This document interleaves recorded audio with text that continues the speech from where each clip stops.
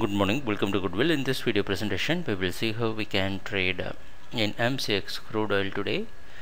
On Friday, the price closed near 2246, and today it's expected to open somewhere uh, uh, near 2340 or within this zone. So, you can expect a gap up opening, a little bit of gap up opening. So, what we can do in crude oil today?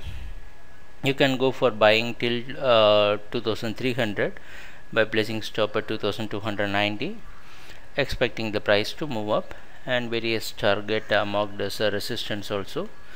So um, let us see what's going to happen uh, during the trading session and thanks a lot for watching our videos up trading take care. Bye